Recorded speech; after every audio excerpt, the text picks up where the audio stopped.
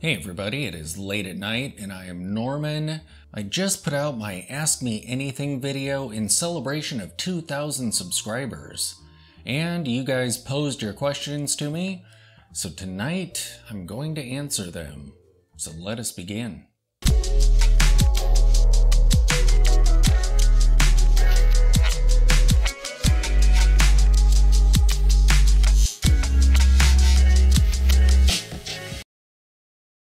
So this first question comes from my buddy over at Watching James. He has his own YouTube channel and it's amazing. Be sure to check it out if you haven't already. And I have to give him a huge shout out and thank you for being such a great supporter of this channel. His question is, I would like to know your thoughts on what might be the best vintage, mechanical, affordable, rectangle, or tank style watch. I feel like it would round out my vintage collection. This is a great question. I've only encountered a few tank style watches in person, so those are really the only ones that I could speak to. So let me go over those now.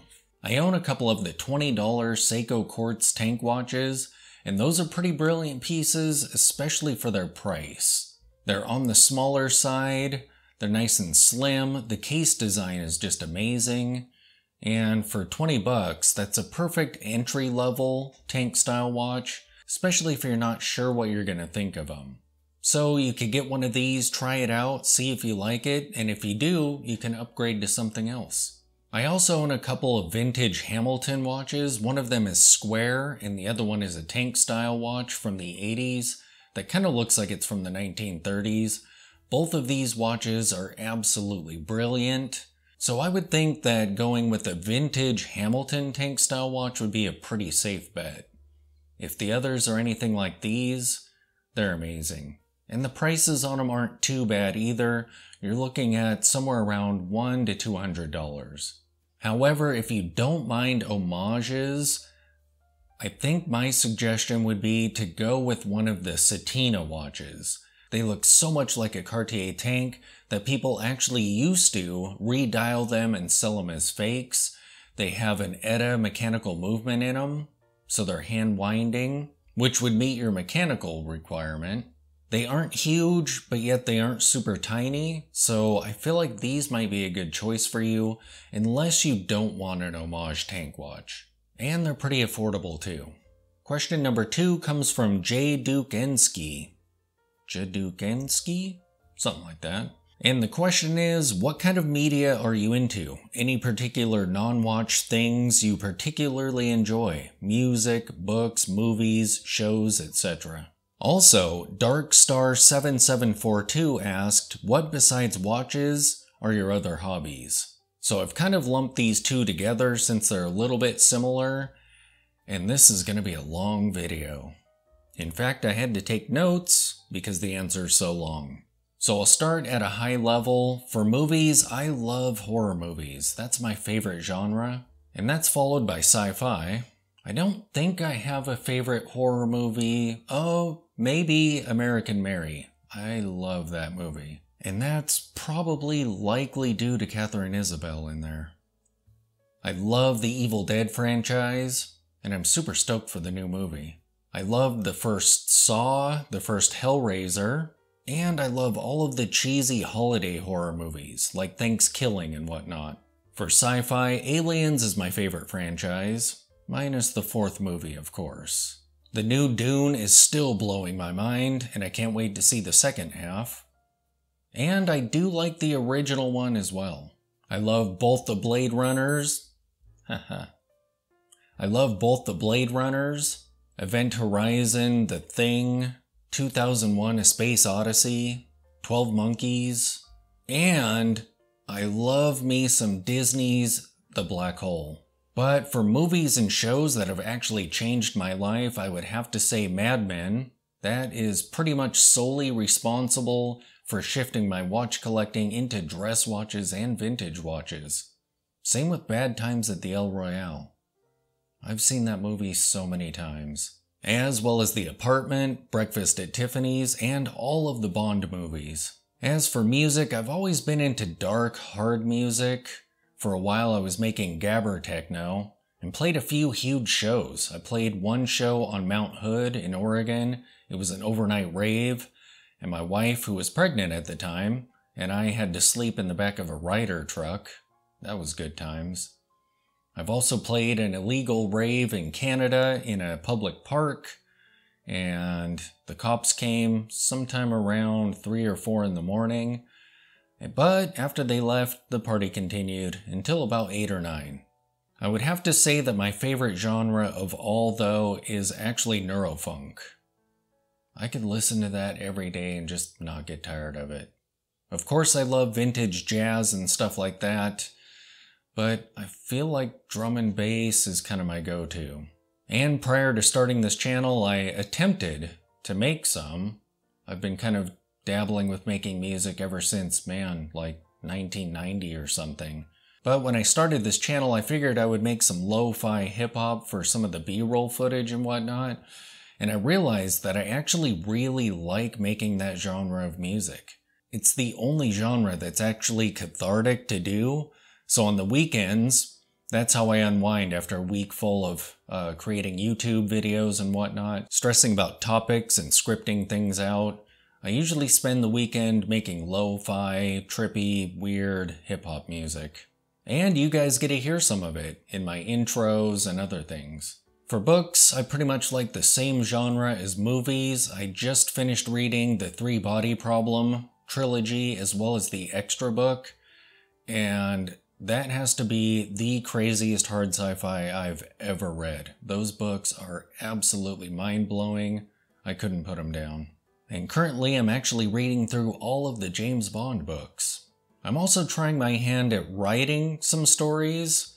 They're basically me reliving vacations. However, the main characters are my wife and I as private investigators. So a little bit of Bond, a little bit of my vacations, whole lot of fun. We'll see if I actually finish any of them.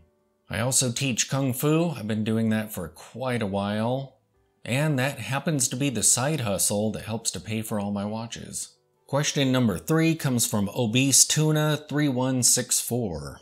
And Obese has been a viewer of this channel for some time and an avid commenter. I always look forward to seeing what kind of comments he leaves. And his question is, what part of the US do you call home? And do you suffer from watch angst?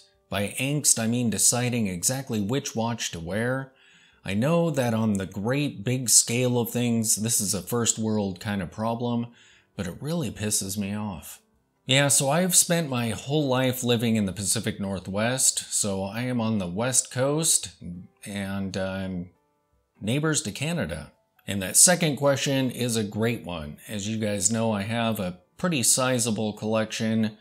So the upside is I get to experience a whole lot of different watches. The downside is I don't really get that in-depth relationship with any of my watches but I can definitely relate to watch angst. However, recently I've kind of been cycling through different moods. So right now I'm in kind of a sporty mood, which is interesting. So I've been wearing my Armida quite a bit and my Smith's Everest gilt dial. However, prior to that, I was really stoked on the Movado Museum and the new Dolce Vita, as well as my new Seiko Dolce. So I just kind of cycle through different watches depending on my mood. What I've been doing lately is I'll have two or three pieces that I have sitting out on the shelf, and those are the ones that I'm in the mood to wear most often. So I see them there, because once I see a watch, I want to wear it. So once I start digging through my watch boxes, that becomes a problem. Those are days where I end up wearing four or five watches, for like an hour or so because I'm stoked on all of them. But yeah, so far I think the shelf idea has been working pretty well. The next question comes from Richard Anoka 801 and his question is, any preliminary thoughts on the Christopher Ward The 12 release? And I'm surprised that my brother actually hasn't asked me for my thoughts on this. Usually, anytime there's a new Christopher Ward release, he'll text me and ask me what I think of it. I love me some Christopher Ward, even though at the moment I don't own any. At one point, I owned three of them. The Malvern 595, which was a brilliant dress watch, and I wish they still produce those. They're such great watches. However, it was a bit large for me, and so I ended up parting ways with that. I also own the Sandhurst, and that was just gorgeous. However, when I got the Smith's PRS 29A, it felt a little bit redundant, and being larger, I decided to keep the Smiths. And I also owned a C65 Trident, and again, just brilliant. Their case design is just phenomenal. But that one I ended up letting go of for the Baltic Aquascaphe. So I still really love the brand. They're just a little bit large and sporty for me. However, I think they did put out some 36s. So, hmm. So I'm going to have to refer to my notes because I had to go and check those watches out and some of my initial thoughts. From what I'm seeing, the 12 looks pretty amazing. Those dials are crazy. I think my only thoughts on them really are, I wonder if the dial might be too much. I would have to see it in person, but I feel like maybe a sunburst variant of these would be nice. So you kind of have an option of a little bit more minimal or more textured when it comes to the dial. I would love to see these in 37 or 38 millimeters with a no date option, but that's just me. But yeah, from what I see, they look pretty amazing. And I think it was their Sealanders that they had come out with fairly recently. Those look pretty great also. I think my brother was kind of tripping on those. I don't think he purchased one though. But yeah, every Christopher Ward I've seen in person is just brilliant. Solid, fairly affordable for what you get too.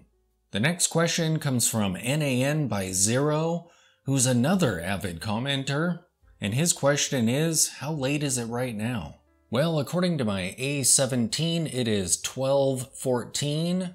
However, by the time I'm done recording all of this and doing what editing I can, it's probably going to be about 3 in the morning. The next question comes from Tobias Rottenbach, 1769. And he sends his greetings from Germany, which is awesome. And his question is, do you like to do and or watch sports? And that's a great question. I played sports in elementary school, but in middle school and high school, I was a skater and a weirdo, and it was usually the sports kids who gave me the most grief. So I kind of shunned sports altogether.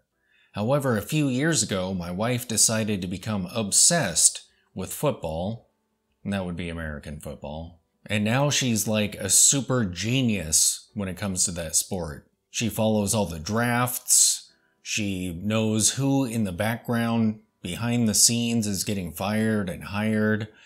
She has all the strategies for building teams down.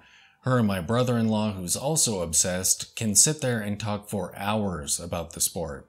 So for the past few years, I've been watching a lot of football. And now I kind of understand some of the strategies on the field and whatnot, and it's super fun to watch.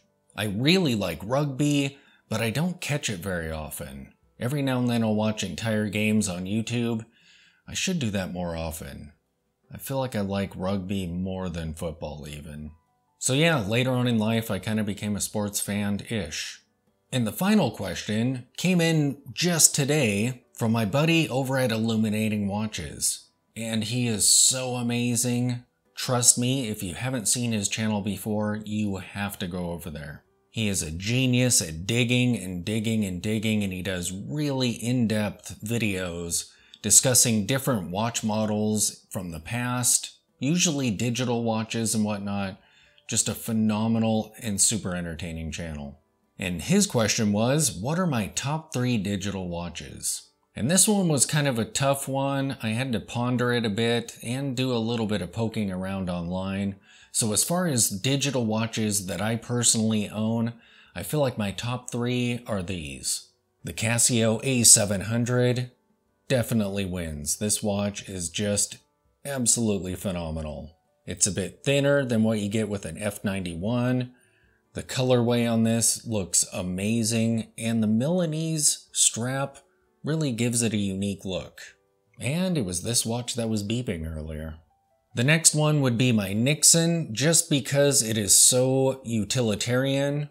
This is a ladies variant, so it's actually kind of a normal size. The men's variant is huge, but it's so wearable and the battery lasts so long that I think this would be my second choice. Even though my third choice looks so cool.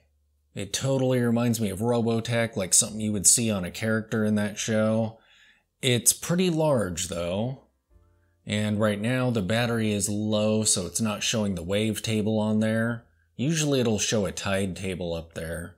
So I'm gonna have to uh, take the case back off here and swap this battery out. But that green on there looks so cool. As for digital watches that I haven't yet experienced in person, I really like the driving watches, where the face is pointed at you from this side here, not the top. Kind of like the ones that Bulova has recently put out. I would really like to see one of those in person. Those look pretty crazy and fun. And I recently encountered a really unique one that I kind of like, even though it's odd looking. And that would be the Void watches.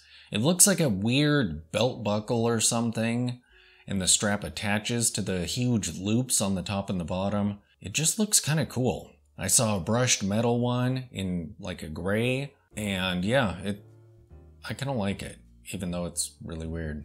So there you have it, the 2000 subscribers ask me anything answers. Thanks for watching.